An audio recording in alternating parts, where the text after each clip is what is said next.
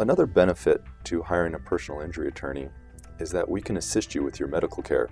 And what that means is if you don't have medical insurance, you know that it's going to be difficult getting treatment necessary to take care of yourself after an accident. What the personal injury attorney can do for you is uh, to provide you with uh, doctors and physicians and physical therapists that will treat you on a lien basis. What that means is the doctor will wait to receive compensation for his or her medical care until the outcome of your case is completed. That's really important because that gives you the opportunity to heal and to take care of yourself.